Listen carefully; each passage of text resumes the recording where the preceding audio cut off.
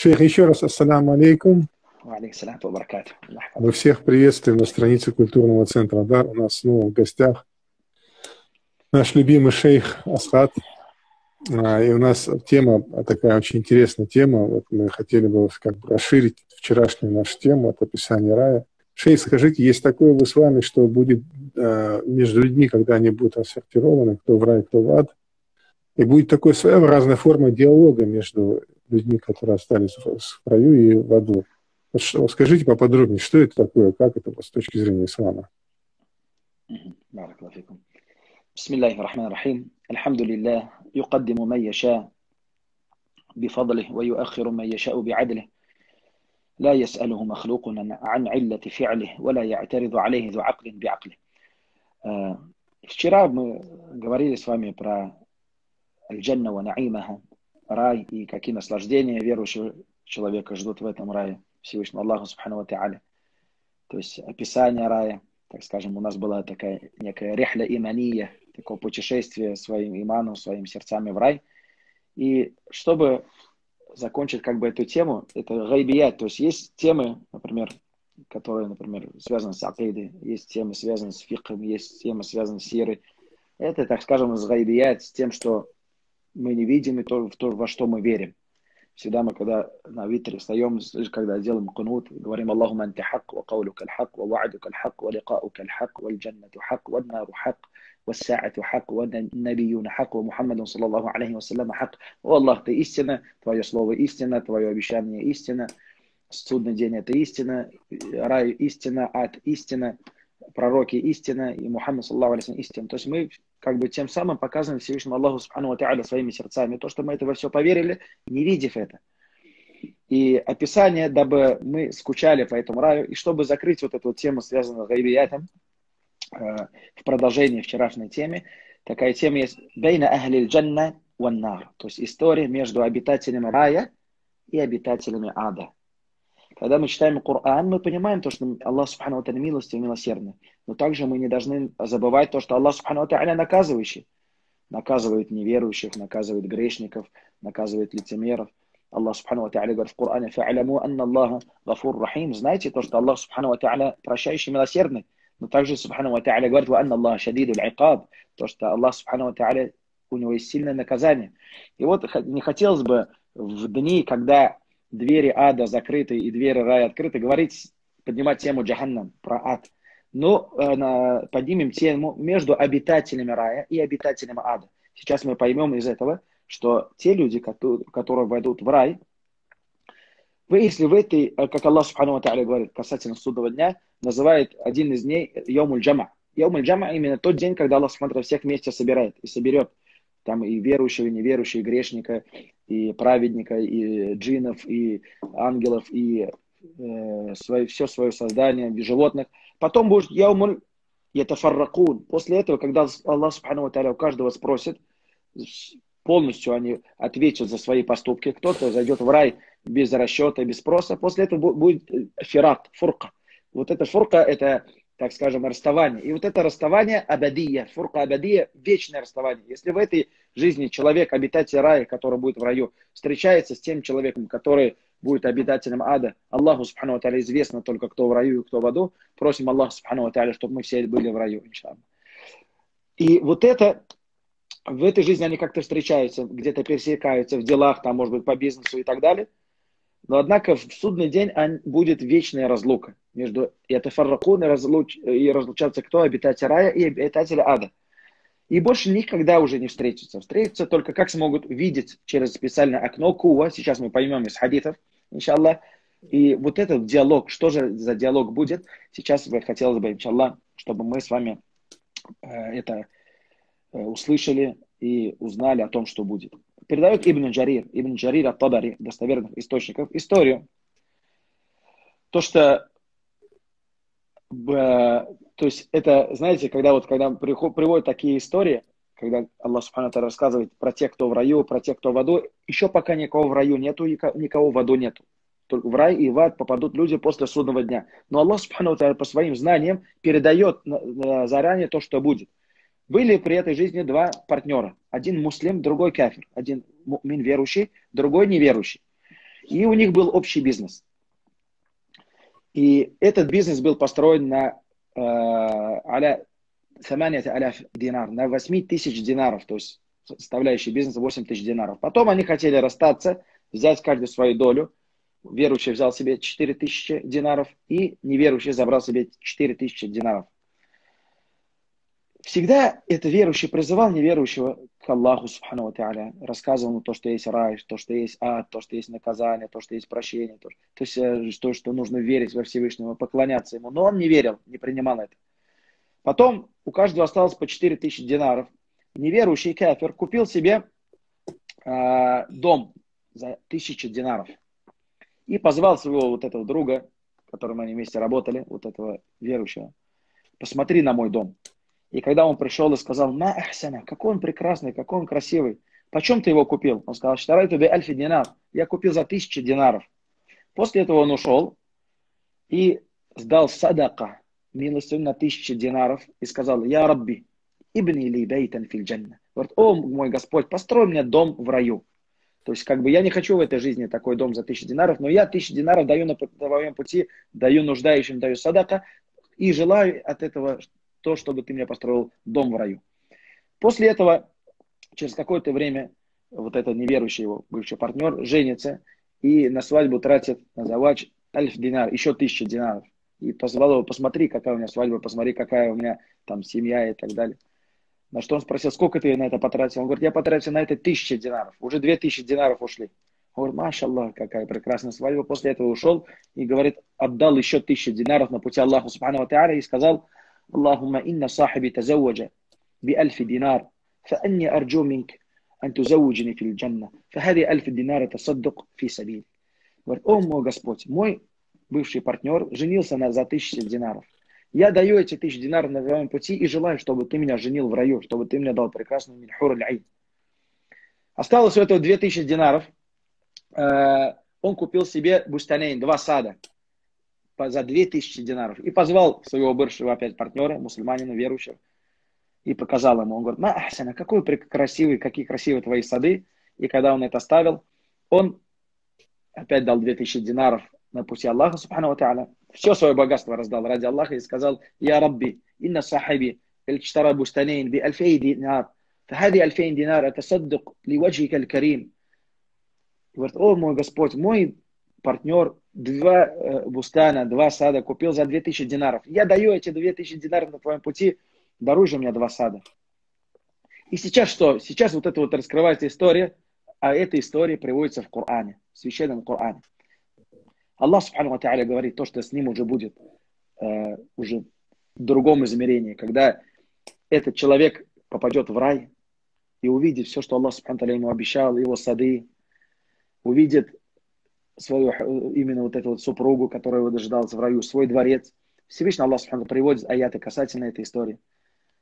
وأقبل بعضهم على بعض يتساءلون Всевышний Аллах Субхану говорит, обитатели рая вместе соберутся и будут друг, друг на друга смотреть и задавать вопросы. قال قائل منهم إني كان لي قرين и один из них скажет, именно этот человек, верующий, который давал на пути Аллаха Субхану Ва скажет, был у меня друг, был у меня партнер. У меня был друг, который за тысячу, мы вместе с ним занимались торговлей, потом он за тысячу динаров купил себе дом, на тысячу динаров женился, два сада купил за две тысячи динаров, но не верил в Аллаха, не поклонялся Всевышнему Аллаху Субхану Ва Кто-нибудь видел его из вас, о обитатель рая? يقول أئنك لمن المصدقين. Он мне всегда говорил, этот мой партнер, неверующий, неужто ты веришь во все это? То есть, айна аль где рай? Кто видел рай? Айна аль-кияма, айна аль-кияма, какой судный день? Тамаття бима индика фи дуня. То, что он мне всегда говорил, наслаждайся тем, что у тебя сейчас есть в дуне. Какой, кто это видел? Как часто мы с вами слышим, люди, которые не практикующие даже, да, говорят, а кто видел рай, кто туда, кто оттуда возвращался? Там? Вот такой же вопрос, также он всегда ему говорил. И сейчас он в раю и обращается к обитателям рая. У меня был друг, у меня был партнер, кто-нибудь видел его? Он говорил мне, неужто ты веришь во все это, веришь в рай, то, что будет рай, то, что судный день. и говорил, «Аида митна ва кунна тураба идама, а инна ламадинун». То есть, и он мне говорил, когда мы умрем, превратимся в прах, и от нас останется кости. Неужто, говорит, айна ламадинун, то есть по счетам нам все выплатится за это. То есть он мне говорит, иштари, покупай, ля это хакуна алейк, пускай над тобой не смеются люди, что ты отдаешь, это как на пути, кого ты отдаешь. Сейчас наслаждайся, в дуне. Какой садака, что за садака? Он не понимал. Фаджа якули Ибн Аббас, тогда Ибн Аббас, радаллаху анху, трактуя этот аят, давая свой тафсир, сказал, «Инна э, Якур ибн Аббас митлю нафида фил джанна, фил джаннати митлю кува». То есть в раю есть окно. Вот как, например, форточка, окно, да, когда открываем, как такое круглое окно, через какое я талля ахли джанна или ахли нар. Через это окно обитатели рая будут смотреть на обитателей ада. И каждый человек, который у него был друг или партнер, в этой жизни, и он был неверующим, он увидит его через это окно, будучи в раю. А тот уже в аду. Всевышний Аллах говорит, то есть, когда он будет искать своего друга, который был его партнер при жизни, тогда Аллах обратится и скажет, хотите вместе со мной посмотреть, то есть, хотите посмотреть через это окно, فاطلع فرآه في سواء الجحيم. И когда он посмотрит, увидит его в центре, в глубине ада. في قعر جهنم, в глубине, глубине ада. То есть аннару ташви, на огонь его, так скажем, он хочет умереть, но умереть не может. Аллах Субхану Тааля говорит, то есть мы будем менять кожу, когда кожа будет сгорать, другую кожу, чтобы почувствовал он это наказание, боль, потому что вот эти болевые именно ощущения, он когда чувствует именно на своей на коже, мин нар, сверху его огонь, мин нар, под ним огонь, я кулю фи нар, в животе его огонь, то есть он наказывается, кричит. Поэтому Здесь задается вопрос, нафаату амвалю, его богатство помогло ли ему спастись от ада? Зауджату нафаату, его супруга, на которую он потратил вот это вот, помогла ли она ему? Вот эти басатины, вот эти сады и украшения, помогли ли ему выйти от наказания Аллаха, субхану? Абада, нет. Поэтому каждого, уважаемые братья и сестры, кого, например, такие бывают, то, что человек какой-то сбивает, хочет сбить с прямого пути в этой жизни. Например, какой-то кто-то кого-то отговаривает, зачем ты молишься, от прямого пути отговаривает.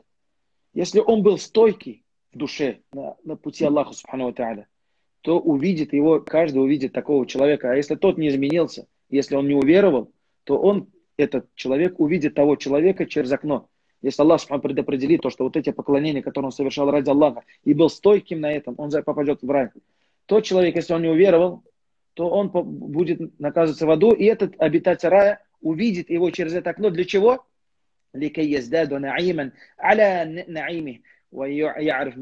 Чтобы он еще больше ценил милость Аллаха, которую он ему дал в раю, за то, что он на этом терпел, на этом пути, и чтобы увидел того человека, какой результат произошел с тем, который отдалялся от Всевышнего Аллаха. Сейчас аль-ан аллади фил джанна юкаллиму аллади фил нар. Сейчас тот, кто в раю, обращается к тому, кто в аду, через это окно. Что он ему скажет? То есть обитатель рая. Он скажет, клянусь Аллахом, касам, клянусь Аллахом. То есть ты ведь чуть-чуть не сбил меня с прямого пути. Чуть не погубил меня. То есть, если бы я тебя послушал, пошел бы за тобой, я бы с тобой вместе сейчас оказался в этом аду. финари джаханнам. То есть, ты меня вот-вот чуть-чуть оставалось. Ты чуть меня не сбил с прямого пути. Но Аллах дал ему возможность быть крепким на пути Всевышнего Аллаха. Субхану То есть, другими словами, «Лау сами'ату калямак, лакунту ма'ака л'ан фи нари, احترق. Если бы я послушал тебя и последовал за тобой, я бы сейчас там с тобой бы наказывался бы в аду и горел бы.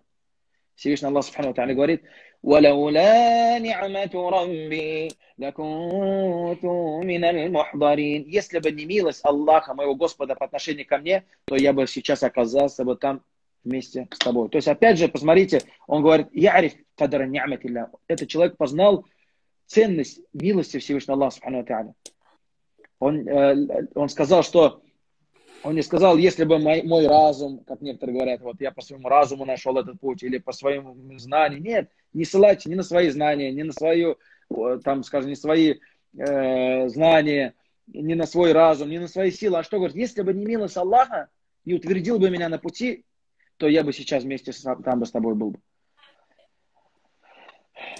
Теперь, отсюда задается вопрос, кто в чьих сердцах истикама, в чьих, в чьих руках истикама, в чьих руках прямой путь, кто укрепляет сердца на прямом пути, только Аллах, субхану ва Поэтому пророк Мухаммад, саллаллаху алейхи больше всего просил, Аллаху я мукаллиб аль-кулуб, табит кальби аля диник. О, Аллах, о переворачивающий сердца людей, укрепи мое сердце на твоей религии. Поэтому, когда спросили Аиша, радаллаху ани, какой больше всего делал дуа, посланник Аллаха, она ответила, его было это. Тогда она задал вопрос посланнику Аллаха, вот тахша аля нафсика, я Расулаллах, ты даже за себя боишься, о посланник Аллаха, ты ведь посланник. То есть, если не ты на прямом пути, то кто помимо тебя? На что он ответил, я Аиша, у моей рика я Аиша. Откуда ты знаешь, о Аиша? فإن قلوب العباد بين بين أسبوعين من أصابع الرحمن يقلبها كيف يشاء. Поистине сердца рабов Аллаха в руках Аллаха, как хочет, так он их и переворачивает. Однако этот человек делал какую-то причину, и отдалился от этого грешника, это саддака, давал садака, сабара, проявлял терпение. ولكن في الحقيقة он делал причину, но однако в основе Аллаху лави ютабит. Аллах тот, который укрепляет и дает возможность делать такие благие дела и идти по прямому пути. ثم التفت أهل الجنة إلى أحبابه وأحبابه فقال لهم Потом те, кто в раю находится, они повернулись к другим обитателям рая, к своим друзьям, к своим братьям, к своим семьям и задали вопрос, друг другу задают вопрос. То есть мы в раю и задают вопрос из Корана. Неужто мы больше не умрем? То есть, в раю не умирает человек? Кроме как первая наша смерть. Имеется в виду фидунья, когда человек умирает, одна только смерть. И больше мы, никогда, и мы, нас никогда не будет наказывать. То есть мы, нам наказание не придет. Постоянное, вечное райское обитель. Человек зашел туда, больше оттуда не видит. Постоянное блаженство, постоянное наслаждение. После этого Аллах, Субхану Ва э, в аятах ставит печать на свои слова и говорит – إن هذا لهو الفوز العظيم لمثل هذا فليعمل العاملون Поистине это великая победа, Аллах назвал. То, что вы сейчас в раю, это великая победа. Пусть же трудятся трудящиеся ради подобного этому. Говорит Всевышний Аллах Субхану Куллю ман кана лаху сахибун ядахку аля дини. То есть каждый у кого-то есть такие, может быть, из родственников, может быть, из знакомых, которые смеются над его религией. или бывает, к нам приходят часто тоже мечеть сестры, которые одевают хиджаб, и кто-то смеется над ее хиджабом. Мы говорим, исбери, проявляй терпение. Ты на пути Аллаха, ты нас будь стойким, будь стойкой, иншалла, на пути Всевышнего Аллаха, субхану Не обращай внимания на того, кто на тебя, про тебя что-то говорит или смеется над тобой. Ты правильный, Аллах тебе даровал это. Этот человек не осознал. Поэтому каждый, кто был стойким, иншаллах, и он увидит того, кто смеялся и издевался над его религией через это окно в раю. Теперь بعد أن يدخل أهل الجنة الجنة ثقلت موازينهم те люди, которые зашли в рай, у них их чаша благих дел тяжелые. ويدخل أهل النار النار خفت موازينهم. А те, кто попали в ад, они в аду, их чаша благих дел легкая. Теперь яхсулю хивар байна ахли джанна ва ахли нар. Теперь э, начинается диалог между обитателями рая и обитателями ада. أهل الجنة بعدما أن يدخلوا قصورهم ويأكلوا من الثمار ويشربوا من الأنهار наим لا يوصف سبحان الله вчера мы об этом говорили обитатели рая когда зайдут в рай зайдут в свои, в свои дворцы будут кушать из плодов рая будут пить из рек рая то есть наим наслаждение которое не описать и не осознать юнади ахлюль джанна ахлян нар теперь обитатели рая обратятся к обитателям ада вот через это окно ونادى أصحاب الجنة أصحاب النار в суrat Аль-Араф Аллах приводит эти аяты обратились обращаются обитатели рая к обитателям ада أن قد وجدنا ما وعدنا ربنا حقا فهل وجدتم ما وعد ربكم حقا обитатели рая обратились к обитателям ада и сказали мы нашли то что Аллах нам обещал А вы, обитатели ада, нашли то, что вам Аллах обещал? Увидели ли это? Мы нашли свои дворцы, аль-хур, своих жен, райна гильман, детей, анхар, реки из молока, из асаля, из меда, из каусар. Все мы нашли. Ашджар, деревья, сады, золото, серебро, жемчуг. Все мы его нашли. Лик Аллах увидели. Ваджадна нашли. А вы то, что вам было обещано, увидели сейчас в аду? فردد أهل النار على أهل الجنة فقالوا لهم. И теперь ответ обитателей ада, обитателей рая. Сурат Аль-Араф. Наам. После того, как они скажут, да, قد وجد, мы увидели то, что нам было обещано, но не верили в это. فأذن مؤذن بينهم اللعنة الله على الظالمين. И тут глашатый закричал, а слово «адан», «муаддин», призвал и сказал между ними проклятие Аллаха для притеснителей. Проклятие Аллаха для мушриков, для кафиров. Почему? Потому что они не уверены в Аллаха, не поклонялись Аллаху, субхану Теперь, и вот это обращение уже обитатели ада к обитателям рая. То есть обитатель рая сказал, вы, мы увидели то, что Аллах нам обещал. А вы увидели? Да. И тогда глашатый ангел проклял их. И тогда обитатели ада обращаются к обитателям рая. Знаете, что за вопрос, шейх Мухаммад Башир? То есть задают вопрос. Значит, они хотят задать вопрос, что-то хотят. Что они хотят? Они в, этом, в этой жизни же они не верили и говорили, что они сбили, что они то есть заблудшие, какой джанна, какой рай, какой намаз, какие садака. А сейчас, когда увидели, застали обращение к обитателям рая, сейчас мы все удивимся, что они попросят. ونادى أصحاب النار أصحاب الجنة Аллах Субхану говорит, обитатели ада обратились к обитателям рая. Я, то есть сказали, я ахля джанна, о обитатели рая, я ахля джанна, о обитатели рая. И в этот момент они горят в аду. Что же они попросят? Посмотрите, что они просят. При жизни у них были миллионы, у них были дворцы, у них, может быть, были свои личные самолеты, дорогие машины, золото, серебро, слуги, одежды. Все у них было, но сейчас они в аду, и что они просят? أن أفيضوا علينا من الماء Полейте на нас воду. Глоток воды просит. Дайте нам глоток воды, полейте на нас воду. أقصى عناية الآن عرفوا قدر نعم الماء то есть Самое меньшее, что ты можешь просить. У тебя при этой жизни все было из дуня, из богатства. Сейчас тебе не хватает всего лишь воды. Сейчас они познали милость Аллаха. Познали милость воды, которую мы не осознали. Осознали милость Аллаха, субхану ва Где вы до этого были, задается вопрос. Почему до этого не уверовали? когда Аллах Субхану Тааля давал вам столько милости из этой жизни, столько богатства давал вам Субхану Тааля. Лимана абатуму, почему вы ему не поклонялись? Сейчас хотите всего лишь глоток воды. Дальше приводится. Если нет воды, то хотя бы то, что вам дал Аллах в качестве ризка в раю. Чуть-чуть. Как бы, если воду не сможете дать, помочь водой, хотя бы любой вещи, ну дайте нам что-нибудь. Чтобы чуть-чуть облегчить себе им вот это наказание ада, огня, Какой ответ будет обитать рая? Что они им ответят на эту просьбу? قالوا إن الله حرمهما على الكافرين ответит поистине Аллах сделал харамом недозволенным это для неверующих харам алейкум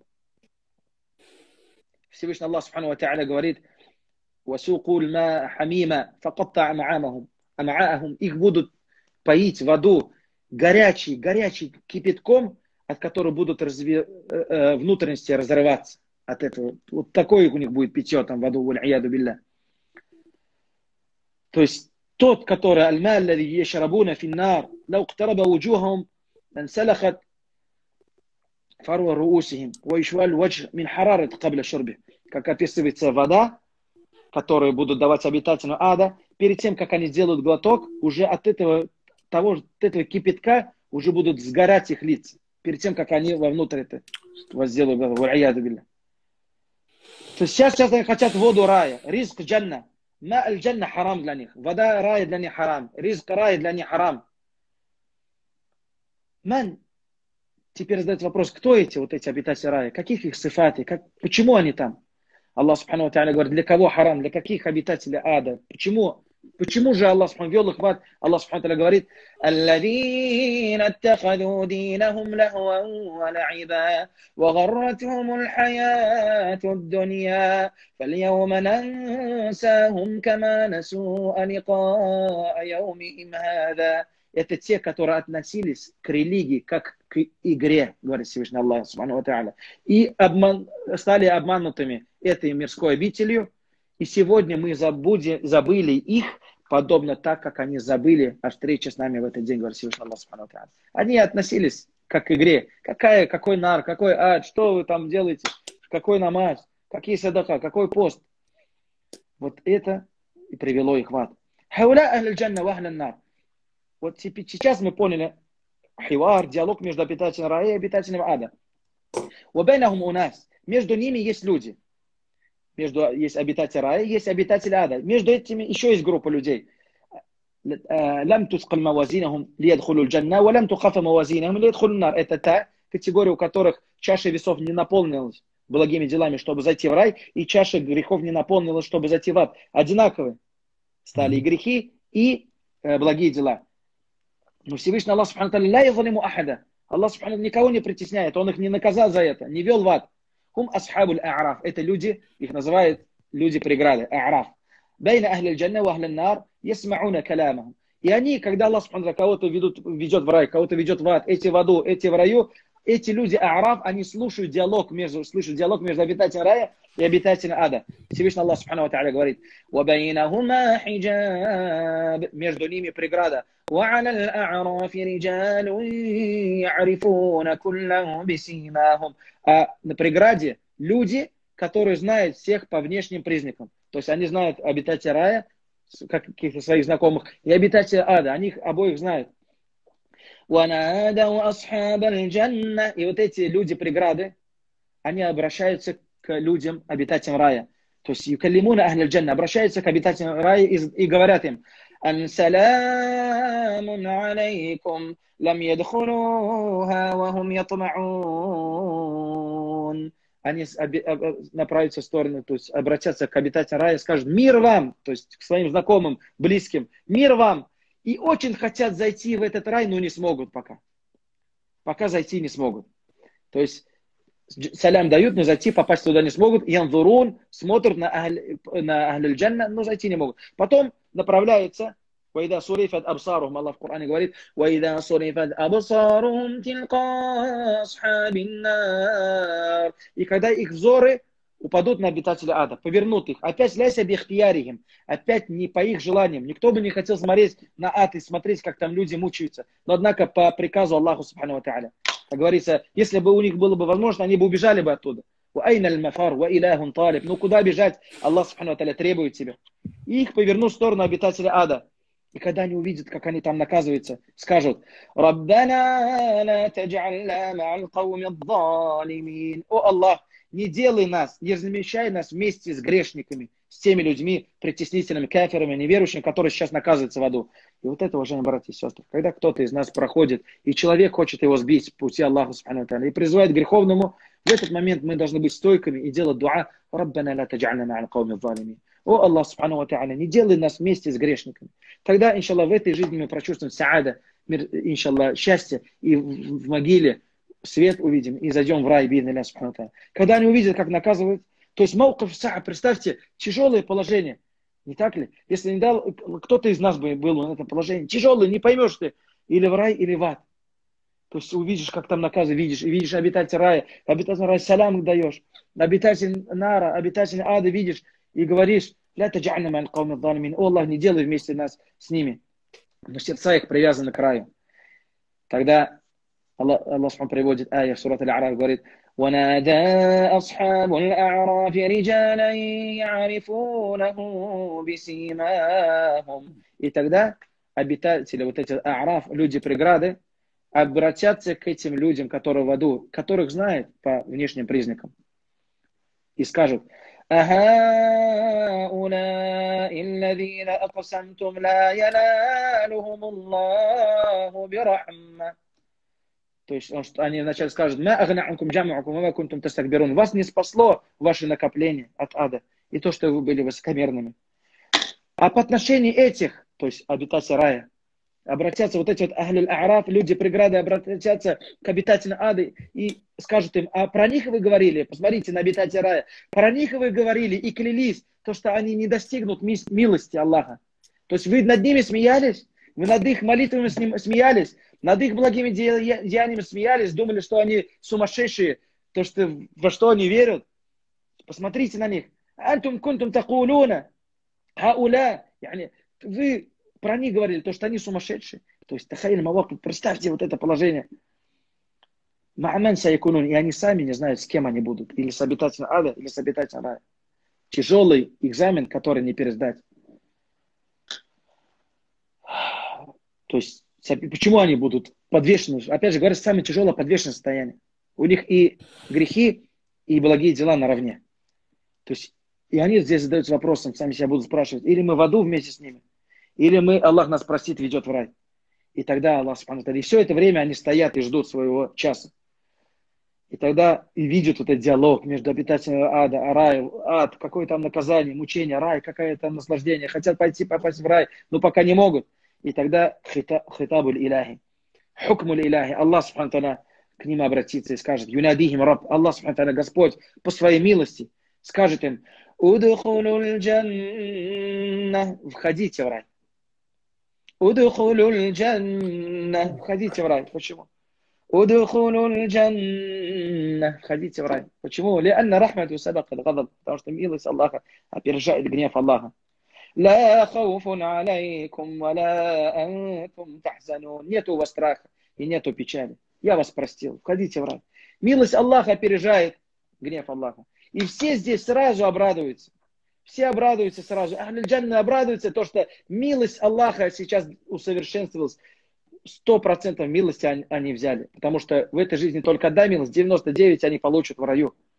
لهذا اليوم والرحمة بأصحاب الأعراف яльтафитуна биахбабихим. И в этот момент асхабуль а'раф увидят в раю своих любимых, которым, по которым они соскучились, и так они хотели с ними встречи, зайдут в рай и будут вместе там вечно наслаждаться. Поэтому, уважаемые братья и сестры, что хотел сказать? Вот каждое благое дело, если вот у них и благие дела, и плохие дела были наравне. Но мы не должны смотреть маленькое благое или большое. Мы должны смотреть на величие и милость того, кто принимает это. Даже если оно маленькое, пускай это какое будет, мы не должны говорить, а зачем я его буду делать, это маленькое благое дело. Любое благое дело, накормил птичек, ради Аллаха, делай это. Не смотри, что оно маленькое, это великое может быть перед Аллахом.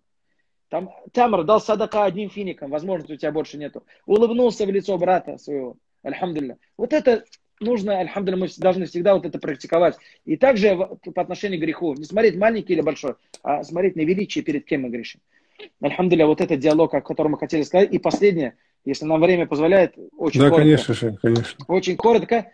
Последний человек, чтобы не возвращаться в следующий эфир в эти темы, э, последний человек, который зайдет в рай.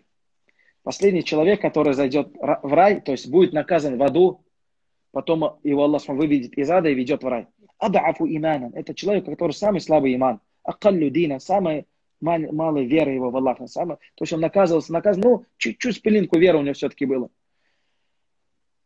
Юхрадж вахид мин джаханнам. Говорит, выведет его из ада, вадимагу ягли. Еще его мозги будут кипеть. Даббах, то есть ягли, то есть будет кипеть еще. И тогда он будет стоять около ворот ада. Последний человек, который вышел из ада, и последний, этот же человек, последний, кто зайдет в рай. И тогда увидит издалека дерево, шаджара. И захочет приблизиться к этому дереву. И скажет, я рабби, каррибни иля шаджара. Астадиллу тахтаха. О мой Господь, приблизь меня к тому дереву, я хочу под ним укрыться в тень. Тогда Аллах Субхану Та'ala ему скажет, Абди, هل عسيت إن أعطيتك ما تريد أن لا تسألني غيرها о мой раб, обещаешь ли ты мне, если я тебе дам, что ты сейчас попросишь, больше меня ни о чем не будешь просить? Он скажет, айдук я раб, я тебе обещаю, мой Господь. Тогда Аллах Субхану приблизит его к дереву, и он будет под деревом. То есть все, альхамдуля, он вышел из ада, из этого мучения, Субханаллах, укрылся под деревом, под тенью этого дерева, и какое-то время пробудет под этим деревом. И тогда вдалеке увидит рай. И, ему интересно становится, то есть хочет посмотреть, что же там в раю происходит. Тогда скажет, о мой Господь, Карибни ляльджанна, приблизь меня к раю, я хочу посмотреть, что там происходит. Он скажет, вайхаки абди, горе тебе, мой раб. Алям туахидани, ты же мне обещал, алля тасальни гайраха, то, что больше ничего ни о чем не спросишь. Сейчас нарушаешь обещание, но однако человек слабый. И Аллах Субхану знает об этом.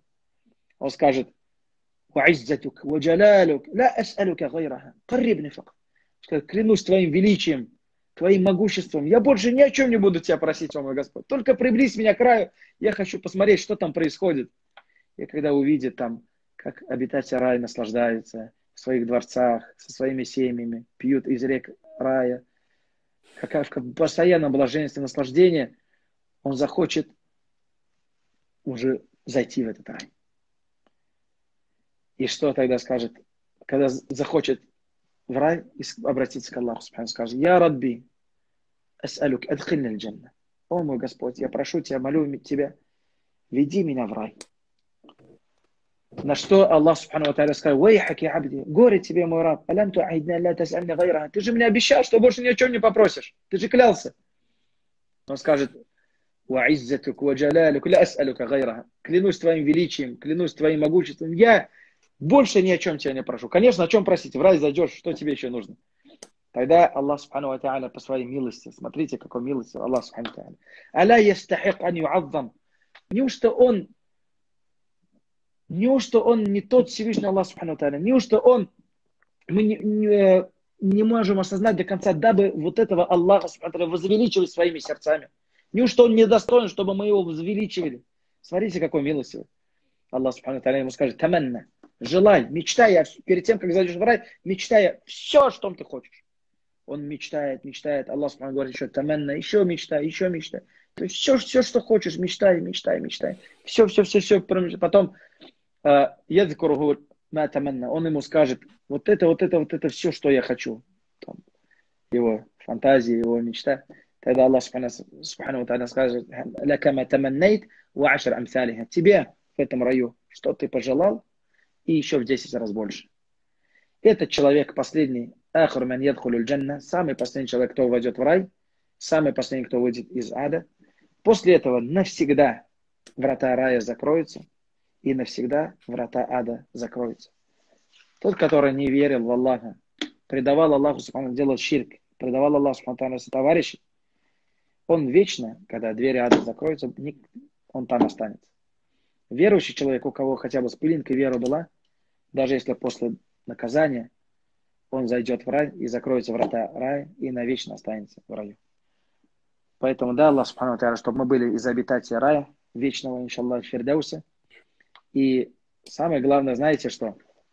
Когда пророк Мухаммад, саллаху алейсалям, говорил, э, обращался с сахабами, когда посланник Аллаха говорил, Аллахумма хасибни хисабан ясира. О Аллах, спроси меня легким спросом.